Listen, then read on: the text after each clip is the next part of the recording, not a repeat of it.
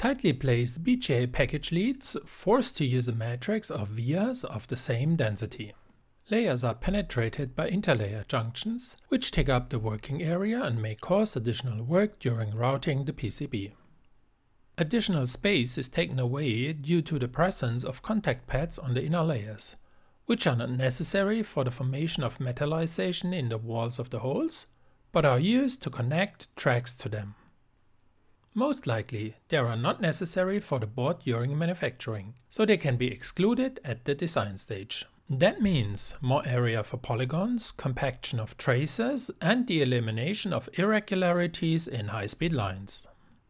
The Remove Unused Pad Shape toolkit in the Tools menu is available for managing this functionality. At the moment we are focused on vias. We can remove, restore or update unused shapes for the vias.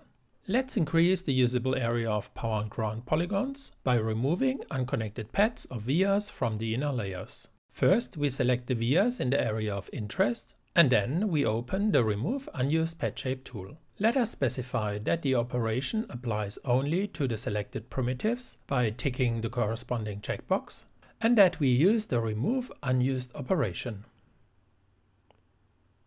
You may notice that for the selected holes, the pads are left only where a track is connected to the via. The rebuilt polygons will have noticeably wider jumpers between the holes, which will significantly improve the characteristics of the power distribution system. Note that the clearance to a hole without a pad is controlled by a separate row in the clearance setting matrix.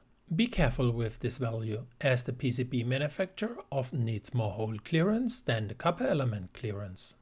By removing unused pads, we can also increase the density of conductors between hole rows where necessary.